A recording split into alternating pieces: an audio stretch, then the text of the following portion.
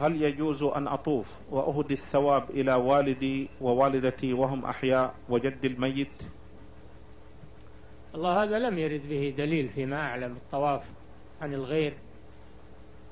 إنما ورد الدليل بالعمرة عن الغير والحج عن الغير. أما الطواف المفرد فلا أعلم فيه دليلا.